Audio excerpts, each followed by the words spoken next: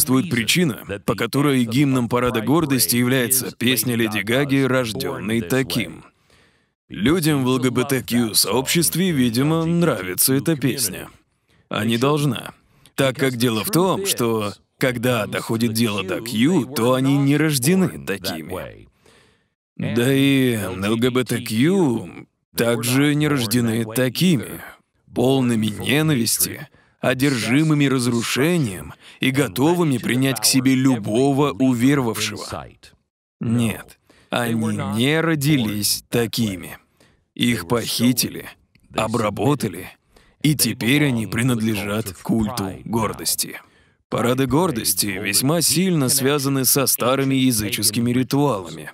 Это все уходит корнями в древнее зло. Например, вот их сестры вечного прощения читают молитву. Послушайте внимательно это видео.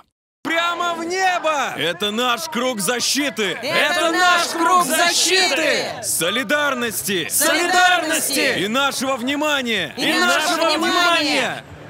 Начинаем! Начинаем! Смотрите! Смотрите! Мы собрались на востоке! Мы собрались на востоке! В деревне! В деревне! Томпкин Сквер Парк! Томпкин Сквер Парк! 74-го! 74-го! И 99-го! И 99-го! Мы Мы призываем! Тверкеров! Тверкеров! Сестер! сестер Это заклинание призыва. Главная цель демонов, а также главный инструмент сатаны — это хаос. Они хотят как можно больше бардака и в итоге насилия. Ибо их собственная жизнь — боль. Злоба из-за боли, они переполнены ею. Боль является источником депрессии, нахальства и зависти. Именно из-за нее они так хотят и любят оскорбляться. Мне жаль, но мы не должны потворствовать их боли. Ни сейчас, ни раньше. Но наша вера в добро и желание помочь тем, кто страдает, были использованы против нас. Мы ведь сказали им, что делать. Молитесь, ходите в церковь, читайте Библию, ищите Христа. Поверьте хотя бы в благость Господа. Ищите Его любви. Любой, кто так поступает, никогда не будет испытывать той боли, которая руководит жизнями гордящихся. Наряду с роликом, где взрослый мужчина делает тверк перед детьми, появилось множество роликов христиан мирно, проповедующих на парадах гордости. И каждый раз это смотрелось, как будто христиан бросают в яму со змеями. И, кстати, хотите знать, на кого нападают и арестовывают? Нет, не мужчину с голым задом перед детьми.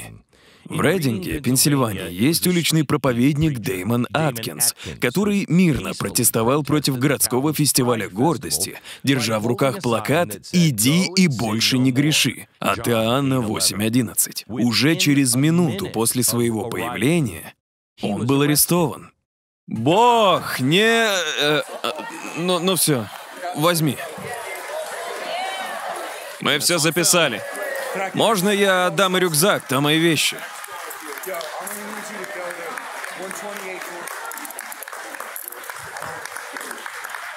И они этому аплодируют.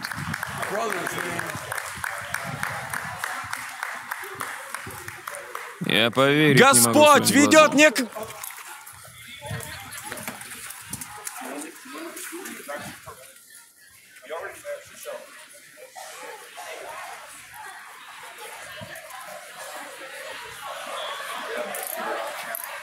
Заснял? Заснял. Да, они нам ранее уже угрожали.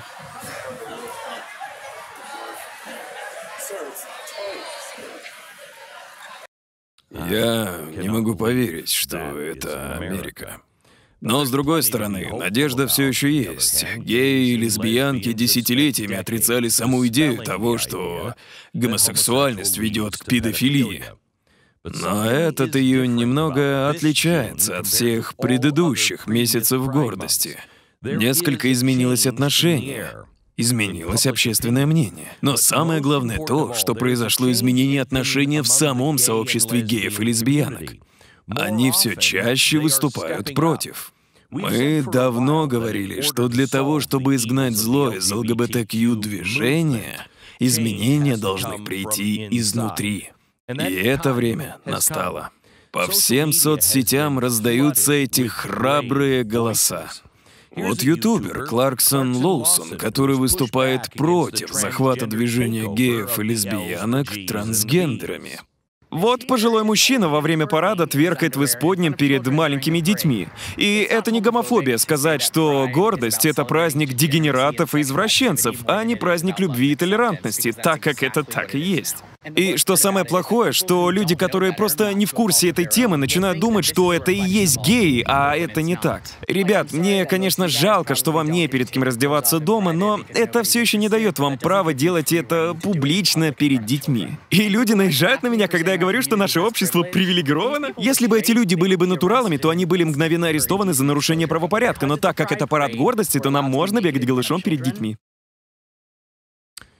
Хвала богу, что кто-то об этом говорит. Я хочу еще показать вам один ролик от супер классной FTL-лесбиянки с очень важным предостережением для родителей, которые приводят своих детей на гордость. Эти люди говорят все, даже не притворяясь. Есть веская причина, по которой они призывают детей приходить на гордость. И не дайте себя провести, даже если они привязывают бантик и называют это миленьким. Это вовсе не так. Это просто означает, что они пойдут на все, чтобы добраться до ваших детей. Я считаю, что Америке пора уже проснуться, а родители, которые приводят своих детей на парад гордости, позор вам, позор вам. Ведь эти дети нуждаются в вашей защите, а вы им ее не даете. Вы больше волнуетесь о своей инклюзивности, чем о своих детях. Но надеюсь, что ваш день будет супер классным. Это все придает мне надежду. Если и существует организация, которая воплощает эти идеи, то это геи против растлителей. Хотите подтверждение того, что они на правильной стороне истории? Википедия описывает их как, цитата, «американская праворадикальная анти-ЛГБТ-организация», известная своей кампанией против смены пола у детей и протестующая перед медучреждениями, которые этим занимаются. Также выступают против ЛГБТ-тематики в школах и критикуют школьные мероприятия с дракуин. Вот как они отреагировали на парад гордости в Нью-Йорк-Сити. Цитата. Вот еще один парад гордости, показывающий еще больше обнаженки, извращений и безобразий. Некоторые СМИ показали весь тот ужас, который там творится. Но мы не хотим вас излишне шокировать, так что даже не будем описывать всю отвратность этого представления. Видимо, из-за евангелизма и природной доброты некоторые христиане не решаются вслух высказываться против этих извращений. Они, возможно, и не поддерживают все это, но они и не порицают это, несмотря на то, что люди замечают эту нерешительность, и она отталкивает их еще дальше от Христа. Однако, добрыми намерениями, пусть и с добрыми намерениями, эта апатия и нейтральность не соответствуют Библии. Вот еще один ролик, показывающий то, как нам нужно себя вести. В нем молодой человек проповедует толпе. Посреди проповеди они начали плескать в него какой-то жидкостью. Обратите внимание на его ответ. Библия говорит Коринфянам 5.17, «Ибо кто во Христе, тот новое творение, то, что было, ушло, и все теперь новое. Так что Он новое творение, и вы можете обновиться. Вы можете обновиться. И Библия говорит, блаженны те, кого хулят и преследуют за имя Мое. Иисус сказал, блаженны вы, и возрадуйтесь, ибо ваше Царствие Небесное. Когда преследуют вас и говорят всякое зло за имя Мое, тем больше вас ваша награда будет на небесах. Я так люблю Иисуса, что вы можете подойти и плюнуть мне в лицо. Можете ударить меня, можете сотворить со мной всякое зло, и я не отвечу обратно, ибо люблю Господа нашего всем сердцем. Наша задача как христиан — это не потворствовать злу. Да, все верно, не суди, но и не закрывай глаза. Сатана любит гордость, все виды гордости.